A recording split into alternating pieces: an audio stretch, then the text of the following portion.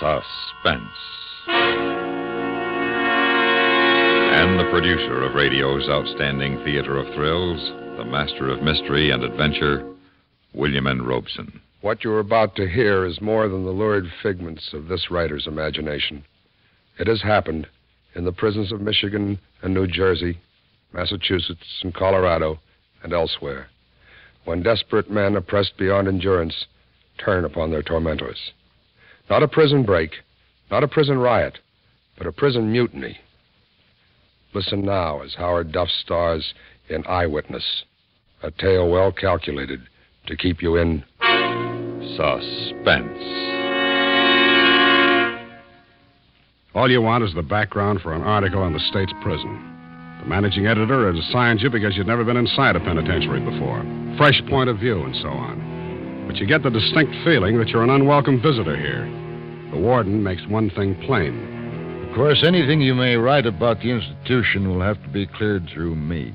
And outside the main gate, your guide, the captain of the yard, comes up with a charming thought. Inside there, you may see somebody you know, or there may be somebody who knows you. They may try to speak to you. If they do, don't answer them, and don't speak to anyone. Don't give anything, don't take anything. Everybody's better off that way. Well, I uh, don't want to seem facetious, but I doubt if any friends of mine are in there. You never know, Mr. Kelly. You never know. And as the guard turns the key and you step inside the prison, you feel that you are a prisoner. You feel you will never walk back through that door alive. The door opens, and you are inside. This here's the yard, Mr. Kelly. The yard. Men. Hundreds of men. Sitting in groups talking, standing in groups talking. A great beast in blue. Each man dressed alike in faded blue dungarees, blue shirt, and blue denim jacket. These are the disenfranchised, the men without names, without citizenship. You step ahead of the captain, and he grabs your arm, and his fingers go deep. On the sidewalk, Mr. Kelly. Oh? Yeah. Sidewalk's out of bounds. To the prison, uh, the inmates? Yeah. Why? We gotta have a way to get around, too. Well, why can't we just walk through? You want to get yourself killed, okay, but not when I'm responsible for you. Then you notice something. As you walk along the side of the yard, they're casing you. The men in the group standing, squatting, sitting notice you first, and then the captain, and immediately turn their backs. It's a subtle choreography of a faded blue ballet. A flick of the eyes, a turn of the head, and as you pass, a solid phalanx of backs. Blue denim backs. But the faces, before they turn, they're the faces of men, not convicts. The faces of the boy in the bakery truck, the teller in the bank, the checker in the supermarket, and that old one, a lifer probably, might be the face of your father. And you shudder a little, and you think the difference between them and you is that they got caught.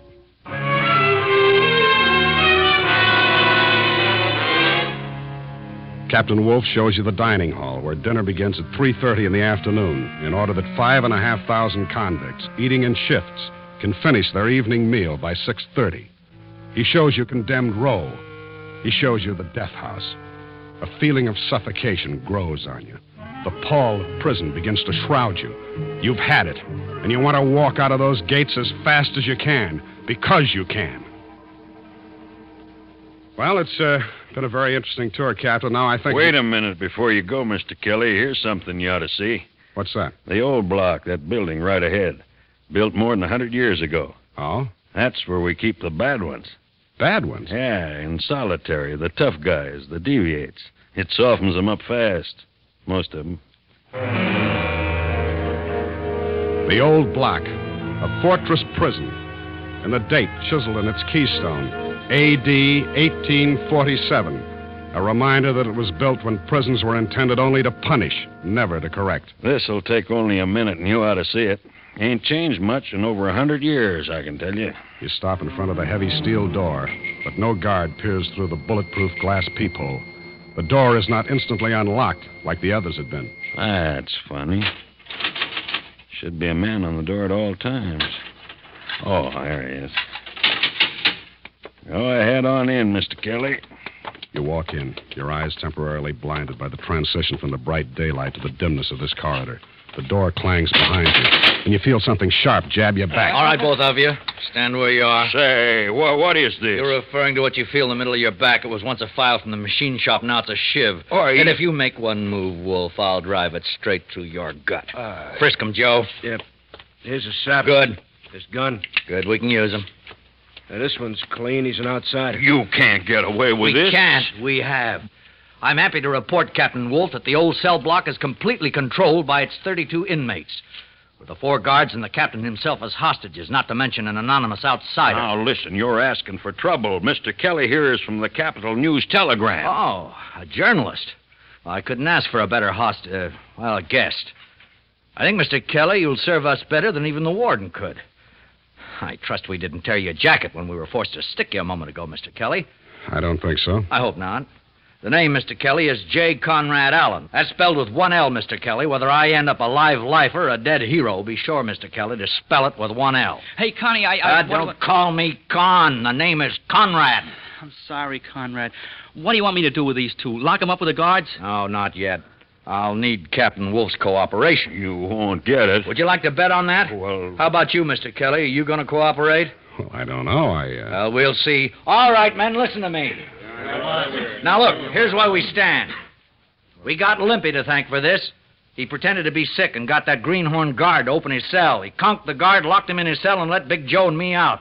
We took care of the rest of the guards. They're all locked up in cell number three. All right, quiet, quiet. Wait a minute. That's not all.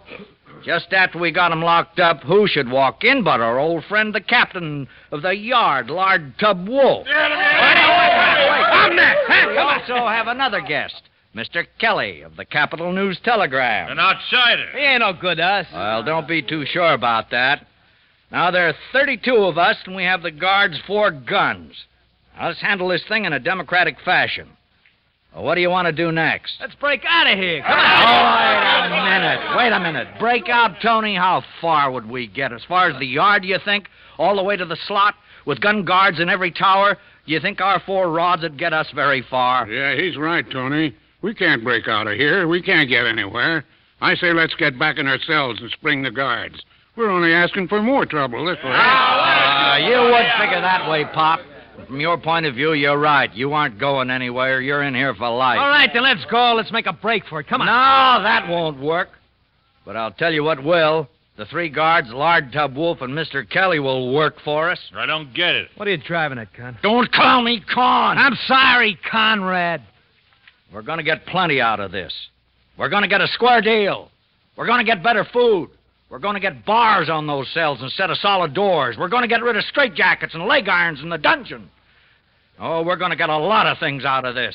How are we going to get all that? You just stick with me. I'll show you. First, they don't know anything's happened yet. So let's tell them. Come on, get on the telephone, Captain Wolf, and call the warden. I will. Like what you say? It is sharp, ain't it, Lord? Come on, Tub? get on the phone. Tell the warden where you are and what's happened. Tell him to send over our supper just the same and to wait for further instructions. Here. All right, I'll dial it. Here now. Now talk. Warden speaking. Warden, this is Captain Wolf. Yes, Wolf? I'm I'm talking from the old cell block. The cons have taken it over. What? They got me and McGuire and that new kid and Feeney. Uh, and yeah, Mr. Kelly. Warden, if I was you, I. I'm giving out the advice around here. Give me that phone. And stop whimpering, Joe. He stuck you a little bit. Lock him up in three cell, Joe. Okay, Conrad. Come on, you. Hello, Warden. What have you done to Captain Wolf? Oh, don't worry, Warden. We uh, just drew a little blood. Now you get this. Who is this speaking? J. Conrad Allen. Oh, number 6720. No, Warden. J. Conrad Allen is the name. What do you want? Plenty, and we don't want any funny business from you. Now, look here. No, you I- look here, Warden. Now, look, you just sit tight until you hear from me again. And don't you forget to send supper over as usual. I will not. Okay, Warden, okay. Don't send the supper then, but you better send a stretcher, because we're just about to beat up a guard. Big Joe, Yeah, which one, the one who's so handy with the chain strap. Feeney. Yeah, that's him. Here's his chain. Use it on him. It'll be a pleasure.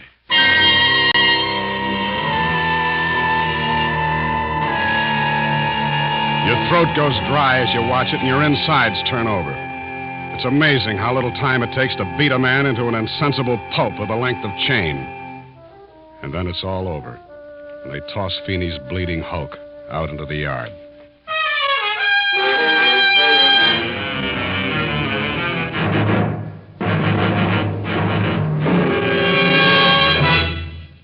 You are listening to Eyewitness, starring Howard Duff. A tale well calculated to keep you in suspense. After they've carried Feeney's broken body away, it doesn't take long for supper to arrive. Rolled up to the door on steam carts by frightened trusties. The men of the old cell block fall to with an appetite you can't share. Not only because the soup is greasy and thin, and the bread rough and thick, but also because you've just seen a man nearly beaten to death. Why, uh, you're not eating, Mr. Kelly. I'm not very hungry. I don't blame you. But after a while, you, you get hungry in here. Now, you get so hungry you'll even eat this guck. Yeah, I suppose you do. But don't think just because this is punishment food that it's much better in the mess hall. It isn't. It's just more filling over there. Did you have to do it? What? Beat up the guard. Of course. Why? Force. That's the only thing they understand. The guards, the warden. That's the way they treat us. You don't have to do anything. You just have to have a guard down on you. And it can mean three days in a straitjacket. You get in a real rhubarb and you can go down to the dungeon for anywhere from a week to a month. The dungeon? Yeah. The dungeon. It's down in the cellar of this block. Cells are five feet long, five feet high, and three feet wide, so you can't lie down, you can't stand up, and there's no light. Oh, It's not a pretty place, Mr. Kelly. You see what I mean? I'm beginning to. Okay, Mr. Kelly. It's your story. What do you mean? Oh, Mr. Kelly, for a newspaper man, you amaze me. It's your story. Eyewitness. You gonna let me out? Oh, oh no, indeed. We need you. Well, then how can I? Uh... Phone it in. When's the morning edition go to press? Well, the Bulldogs put the bed at eight fifteen. Right, you got a little more than an hour. Can you do it? Oh, sure, if I can get a call through. You'll get a call through. Hello? Outside line, please. What? You heard me, Warden. Tell the operator to give us an outside line. What are you trying... Mr. Kelly wants to file a story. Well, no story goes out of here without my okay. No? I bet you're holding a press conference in your office right now, aren't you? Well, so am I. Mr. Kelly wants to file his story. I will not be intimidated. How's Feeney, Warden? Is he resting easy? Who do you want next, McGuire or that green kid who opened the first cell? Name him. We'll deliver him to you in pieces. Look here, Allen. Don't you realize what'll happen to you men? You can't get out of there. You're already in bad trouble, all of you. You've forfeited your chance for parole by breaking out. You've extended your sentences by beating up Feeney. You're only making it worse on yourself. Now, if you don't give up, you'll all spend the rest of your lives right where you are, in the old block. Uh, threats, Warden? You threatening us? What's the matter? Scared? Because we're not. We're sitting pretty, Warden. But you, you got plenty to lose. You might lose your job. And where could you ever find another one so cushy? You better play ball with us, Warden, because we're playing for keeps. Now get me an outside line. I will not. Okay, Big Joe, go to work on the next goon. Sure. Now, wait a minute. You can't. It's, it's inhuman. I suppose the dungeon isn't. But you can't. Get me that outside line, Warden. Give me your word you won't harm that man. I'll give you my word for now. You get me that line. What number do you want? Get me the Capital News telegram. The managing editor. Yeah, person to person to the managing editor, Mr. Wiley Brooks. How did you know? And make it snappy. How did you know the ME's name? Why, uh, I've been around some, Mr. Kelly. I needn't warn you, I suppose, not to double cross us. How could I? I don't know, but just don't. You saw what happened to Feeney. Yeah, I saw. But I have to include that in my story. I want you to. It happened. We're not ashamed of it. Oh, and here, you'll want to include this. What's this? A list of demands. Oh, I want to get that in. I want the warden to see that in print in the prison board and the governor. News telegram, Brooks speaking. Hello, Wiley. This is Conrad Allen speaking. Conrad? I thought you were in prison. Yeah, I am. Well, then what? What's going on up there? We got a flash that there was some trouble. There is. We got a man up there, but we haven't heard from him. You will. Say, what is this? Well, I've never forgotten what you did for me during my trial. Well, I knew you were framed. After all, you were the best City Hall reporter I ever had. Well, thank you. I told you I'd return the favor someday. I got an eyewitness story for you on the mutiny in the old cell block. Well, let's have it. Well, you know me, Wiley. I was never very good phoning a story, and I think better to typewriter, so uh, I'll turn you over to your Mr. Kelly. Is he there? Yeah, he's one of our hostages. One of you. Uh, take it from here, Mr. Kelly. Hello, Wiley. What are you doing up there, Bob? I'll fill you in when I get out of here, if I get out. Uh, right now, here's the story. Ready? Ready. At 3:43 this afternoon, in the old cell block at State's Prison, John J. Casey, alias Limpy, You dictate the story as fast as you can, including the mutineers' list of demands: abolition of the dungeon, better food, abolition of the use of straitjackets, chains, whips, and blackjacks, and no reprisals against the prisoners involved in the mutiny. Well, that uh, winds it up as of this minute, Wiley. Uh, wait a minute. I got something to add. Uh, just a minute. Conrad Allen, that's spelled with one L. I know. He wants to add something. Uh, hello, Wiley. Yes, Conrad. Look, I got three guards left. Now, your bulldog still hits the street at 10 p.m., doesn't it? That's right. Well, if they don't meet our demands by midnight, we beat up a guard. The next one goes at 4 a.m., the last one at 8 o'clock tomorrow morning. You can print that. Yeah. Okay, Conrad, but listen. Let Bob Kelly out of there, will you? I need him on this story. Uh uh Wiley. He's on the story, and we need him. And if they don't give in by 8 a.m. when I run out of guards, I'll need your Mr. Kelly very badly. You hear it, you don't believe it. And then you think of Feeney. You're not so sure. The time drags on. Some of the men go back to their cells to sleep in the unaccustomed half freedom of open doors. A couple of them pull the doors quietly shut because sleep is impossible with the doors open. Eight o'clock. Nine o'clock. Ten. Well, papers on the street now. Eleven o'clock. The tension mounts. Slowly, Conrad's midnight deadline approaches. The hands creep toward 12. They meet, point upward. Ten seconds. Fifteen. Nothing happens. Okay, boys. Who's next? How about McGuire, the blackjack specialist? Use his own on him. Okay, Conrad. Warden speaking. Send a stretcher, Warden. McGuire will be ready for you in five minutes. Here's your answer, Conrad. Hey, the lights! Somebody turned off the lights! So that's the way he wants it.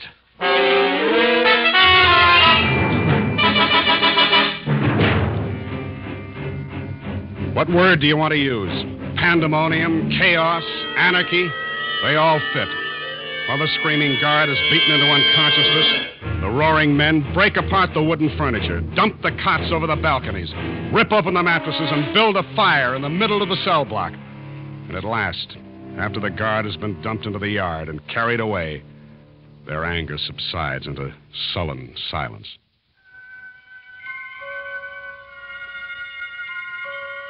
Four more hours drag by, and at last Conrad's next deadline arrives. Ready to give in, Warden? Are you thirsty, Conrad? What do you mean? You will be. Why, the crummy. Hey, Limpy. Yeah. Turn on the water tap in your cell. Huh? Turn it on. It, It's just a trickle. It stopped. Well, uh, come here. Yeah. Yeah. Yeah, Conrad. Look, keep it to yourself, you understand? Yeah, but what does it mean? They turn off the water? Well, just keep it to yourself. Don't tell the other guys. Oh, they'll find out soon enough. Yeah, but let's not tell them, huh? Let them find out by themselves. Look here, Conrad, don't you see they got you licked? No, they haven't, Mr. Kelly. They're scared. They're plenty In scared. the name of humanity, why don't you stop this? Stop now. We can't stop. Hey, Conrad. Something's going on outside. What is it? I can't tell. Sounds like digging out and back. Well, can't you see? You kidding? We ain't got no lights, remember? And the yard lights are out. Hmm. Time to throw him another bone.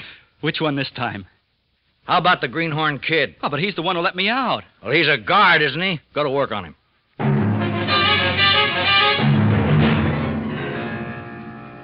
So the greenhorn kid gets his and is dumped into the yard. And you sit and wait in the darkness until gray light spreads over the gray walls and through the tiny windows, turning the blackness of the block into a lighter black. And one by one, the men awaken. Hey, Conrad, there ain't no water on the taps.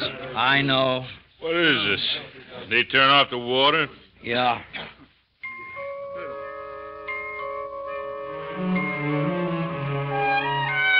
Another hour goes by, and it's breakfast time.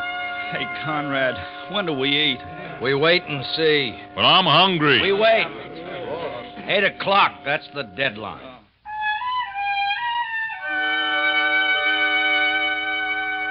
And at last, eight o'clock. Okay, boys, this is it.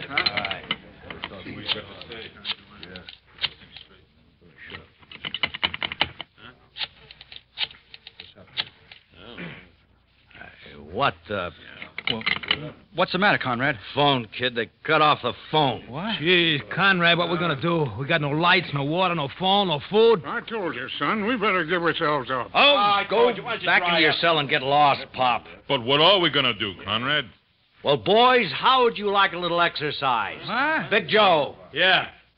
unlock the lard tub. With pleasure. Come on, give him to me. Come on. Now, now, boys, with Lard Tub Wolf, it's going to be different. Everybody gets a crack. Because everybody's got unfinished business with Tub, isn't that right? Okay, Big Joe. Handcuff his arms behind him and stand him up by the door. All right, now, boys, line up. But, fellas, be fair. You guys at the head of the line go a little easy so the fellas at the end still have something left to work on. Okay, go to work. You thought you'd seen cruelty before, but this is mass bloodlust. The tormented turning on their tormentor. Each man delivering his retribution on the captain of the yard. Calculatingly, deliberately, one with a fist, another with a foot, a third with a length of chain, still another with an iron cot leg, and you turn away. And the effort of your retching blots out the sounds of agony and empty victory. Good old Lard Tub. Boy, I got an idea he might quit his job. After he's able to walk again. Hey, Conrad, I just thought of something. Yeah, what's that? What are we going to do next? Nothing. It's their move. Yeah, but we ain't got any more guards to beat up. That's right. But we've still got Mr. Kelly. Your heart stops beating for a long instant as the wild, bloodshot eyes of 32 desperate men center on you. Yeah, that's right. I was forgetting. We still got Mr. Kelly. Now, wait a minute, Conrad. He ain't done nothing to us except do us a favor. He got the story out for us. Now, listen, boys, let's not get ethical. We're all in this all over our heads. If Mr. Kelly's what it takes to win our point, we'll use Mr. Kelly. Now, look, I don't think You're it's right. not supposed to think. I'll do the thinking. You agree with me, don't you, Kelly? You'd do the same thing if you were in my place, wouldn't you? You're asking me. You don't know how long you sit there across the table from Conrad. Time has stopped. You wait. Conrad waits. The men wait in silent little groups. You wait for the next move, the warden's move.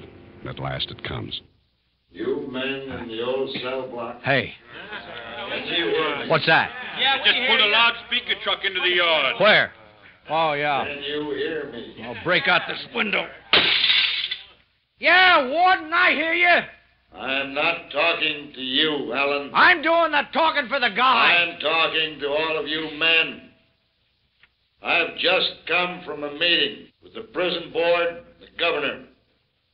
We are in agreement that we will not permit the authority of this state to be bullied by a tiny group of men who haven't even the rights of citizens. Make it simple, Warden. You turning us down?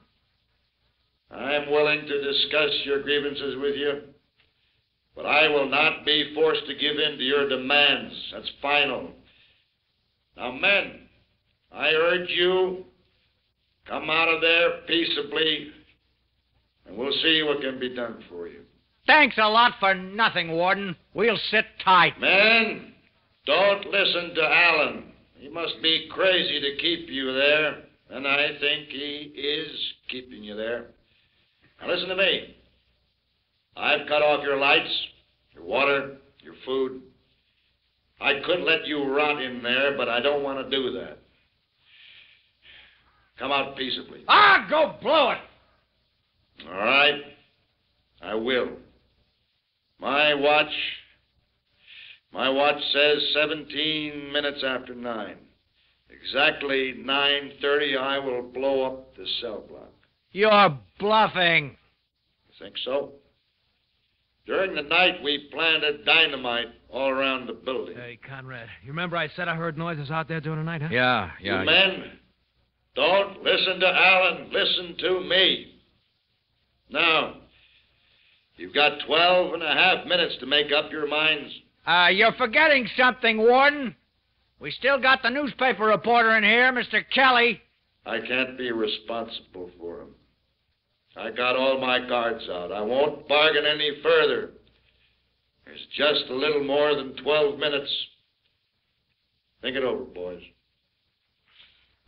Well, Mr. Kelly, looks like you aren't as valuable as I thought you'd be.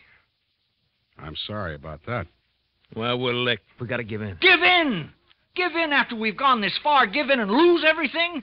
Do you realize that in this state they can give us all life for what we've done so far?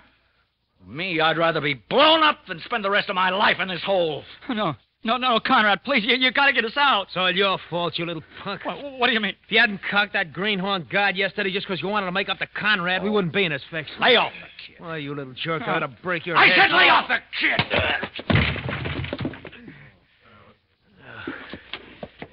You made a lot of mistakes, Conrad.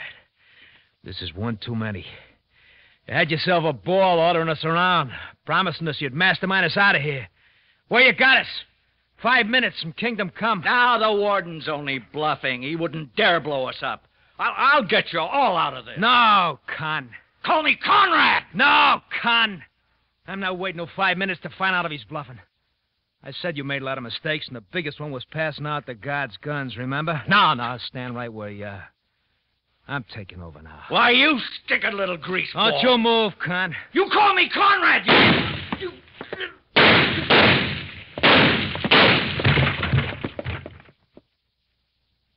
Less than five minutes, boys. I'm going out. Anybody joining me?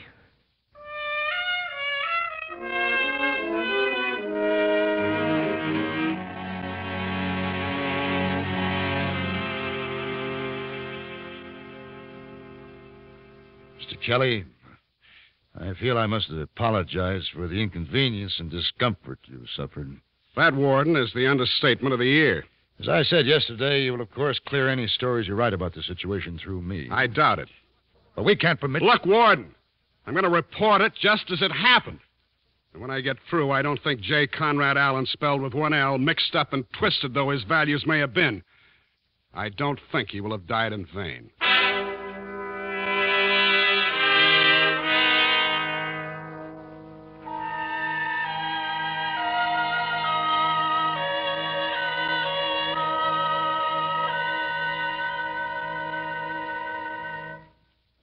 Suspense, in which Howard Duff starred in Eyewitness, written, directed, and produced by William N. Robson. Listen.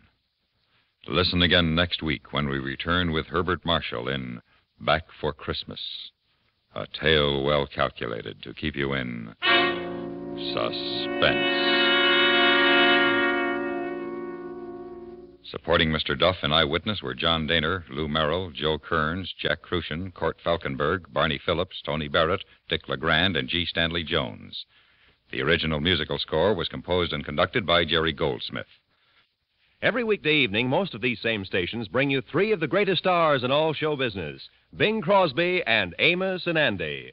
In their music hall, Amos and Andy let still another star, the Kingfish, join the proceedings as they play host to lady wrestlers, symphony conductors, and anyone who will make music or laughter or both. Hear them every weekday night on CBS Radio.